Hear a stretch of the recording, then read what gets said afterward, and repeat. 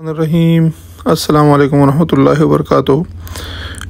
आज आप लोगों के साथ मैं शेयर करूँगा कि किस तरीके से आप लोग अपनी फैमिली वीज़ा अप्लाई कर सकते हैं। ये मैं स्टेप बाय स्टेप आप लोगों को एक एक चीज़ समझाने की कोशिश करूँगा। कि मिनिस्ट्री के स्टाफ जो है किस तरीके से अपने फैमिली वीज़ा को अप्लाई कर सकते हैं। ठीक है? तो कुछ स्टेप्स है मैं आप लोगों को आ, बताने जा रहा हूँ। आप जो है कंप्लीट वीडियो देख लें ताकि आप लोगों को इजीली समझ आ जाए। इसके लिए जो डॉक्यूमेंट्स आपको रिक्वायर्ड होंगे वो सबसे पहले आपके पास मैरिज सर्टिफिकेट होना चाहिए निकाहनामा होना चाहिए फिर फैमिली रजिस्ट्रेशन सर्टिफिकेट जिसे एफआरसी कहते हैं, ये आपके पास होना चाहिए, ये आप के नादरा से आपको ही मिल सकता है, ठीक है? फिर बर्थ सर्टिफिकेट जो है आपके, अगर बच्चे हैं तो बर्थ सर्टिफिकेट भी आपको चाहिए। बर्थ सर्टिफिकेट आपके जो यूनियन काउंसिल होते हैं, वहाँ से बर्थ सर्टिफिकेट आपका इजीली बन जाएगा, ठीक है?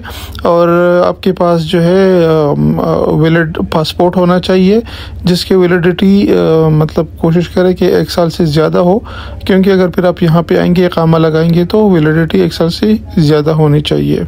ये जो आपके डॉक्यूमेंट्स है, जिसमें F R C M R C और बच्चों के जो बर्थ सर्टिफिकेट होते हैं ये आपके पाकिस्तान में मोफा से अटेस्ट होना ज़रूरी है। पहले ये होंगे पाकिस्तान में मोफा से अटेस्ट और उसके बाद जब मोफा अटेस्ट कर लेती है तो पाकिस्तान में जो कुवैत एम्बेसी है तो फिर आपको वहाँ पे जमा करने होंगे ताकि वो अटेस्टेशन कर ले, ठीक है?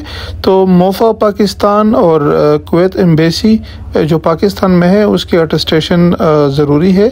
कि आपके जो मैरिज सर्टिफिकेट है, फैमिली रजिस्ट्रेशन सर्टिफिकेट है और बर्थ सर्टिफिकेट है हर बच्चे का तो वो सर्टिफाइड होना चाहिए अटेस्ट होना चाहिए मोफा पाकिस्तान से और कुवैत एम्बेसी पाकिस्तान से। जब अटेस्टेशन हो जाए वहाँ से तो फिर आप लोग डॉक्यूमेंट्स को यहाँ कुवैत मंगवा लें। जब आप कुवैत मंगवा लेते हैं तो आपके डॉक्यूमेंट्स जो है, जिसमें मैरिज सर्टिफिकेट है फैमिली रजिस्ट्रेशन सर्टिफिकेट है, और अगर बच्चे हैं तो उनके बर्थ सर्टिफिकेट इनको फिर आप मोफा से अटेस्ट करेंगे, ठीक है? मोफा से किस तरीके से अटेस्ट करना है, और मोफा से किस तरीके से अपॉइंटमेंट लेनी है तो इसमें मैं वीडियो टैग कर रहा हूँ। वो ऑलरेडी मैं इस पर एक वीडियो बना चुका हूँ, वो आप देख ले। तो आप लोग अपना अपॉइंटमेंट ले लें, और मोफा से अपने मैरिज सर्टिफिकेट को फैमिली रजिस्ट्रेशन सर्टिफिकेट को और बर्थ सर्टिफिकेट को, बच्चों की बर्थ सर्टिफिकेट को आप लोग अटेस्ट कर लें। ठीक है? क्योंकि मोफा कुवैत की अटेस्टेशन ज़रूरी है। आपकी अटेस्टेशन हो जाए मोफा कुवैत से तो उसके बाद फिर आपको अपना एफ़ आर सी और एम आर सी अरबिक में ट्रांसलेट करना ज़रूरी होता है, ठीक है?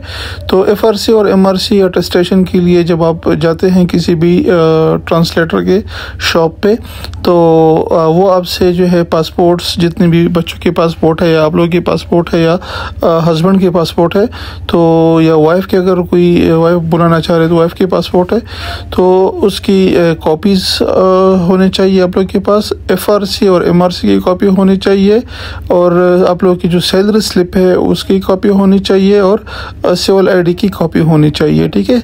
तो ये कॉपीज़ भी होनी चाहिए, एक एक कॉपी और ओरिजिनल भी आप लेके दे देंगे उनको तो वो अरबिक में इसकी ट्रांसलेशन कर देंगे। जब ये ट्रांसलेशन हो जाएगी अरबी की तो फिर आप लोगों ने क्या करना है कि आप लोग कुवैत में जो पाकिस्तान एम्बेसी है, आप लोग जाएँगे वहाँ पे।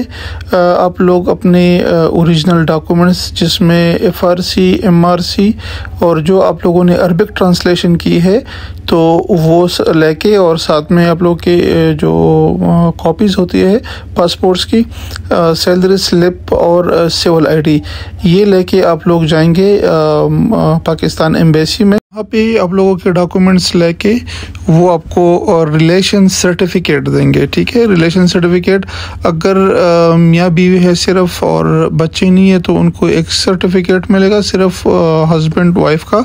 और अगर बच्चे हैं तो आप लोगों को बच्चों का भी रिलेशन सर्टिफिकेट मिलेगा, ठीक है? वो रिलेशन सर्टिफिकेट आप लोगों को दे देंगे और पेमेंट जो है वो सिर्फ़ कैनेट के थ्रू ही होता है एटीएम के थ्रू।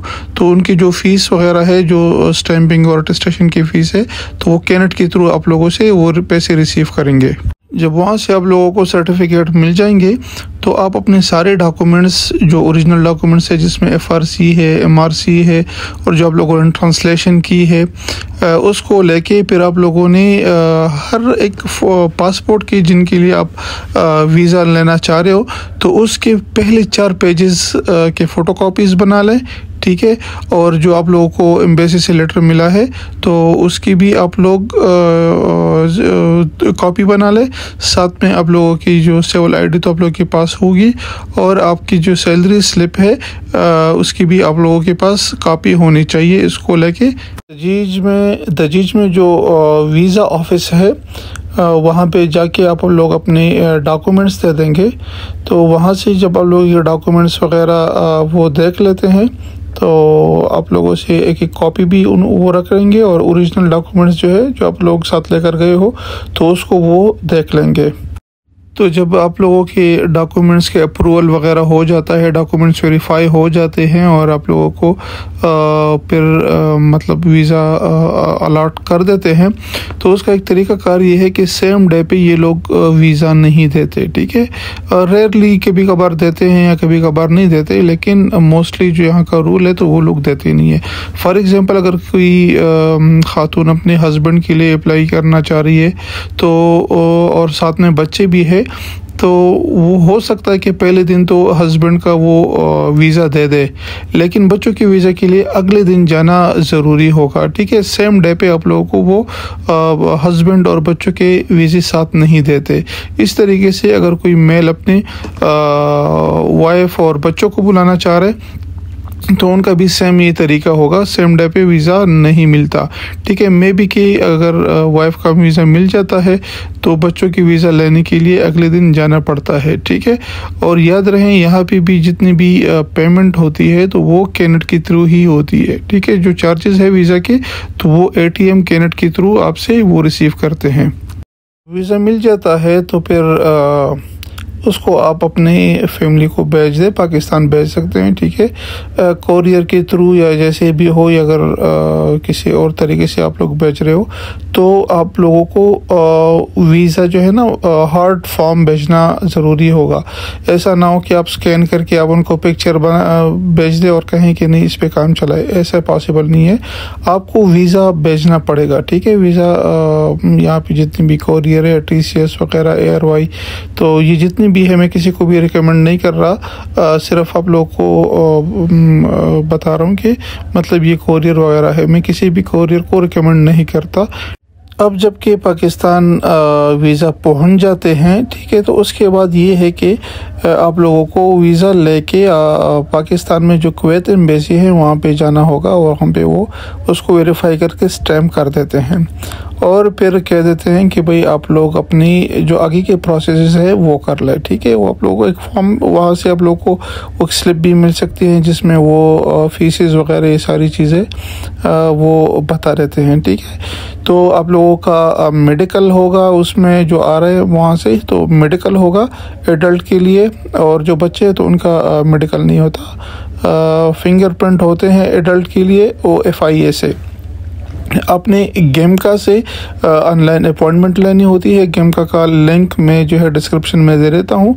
आप लोग वहाँ से भी गेमका का लोकेशन ले सकते हैं, ठीक है? और जो अंडर ट्वेल्व बच्चे हैं तो उनका जो वैक्सीनेशन कार्ड है तो वो ज़रूरी है, ठीक है? वैक्सीनेशन कार्ड बनेगा। फिर वो जो फीसेस वगैरह है, वो आप लोगों को वहाँ पे जाके वो बता देते हैं कि किस चीज़ की कौन कौन से फ़ीस केसेस हैं, ठीक है? मेडिकल के लिए गेमका से जब आप ऑनलाइन अपॉइंटमेंट लेंगे तो उसमें सिटीज़ शो हो रहेंगी जो आप लोगों की सिटी है, जो आप लोगों को नज़दीक पड़ रहे तो वहाँ वहाँ पे फिर आप लोग अपॉइंटमेंट ले लें और मेडिकल कर ले, ठीक है?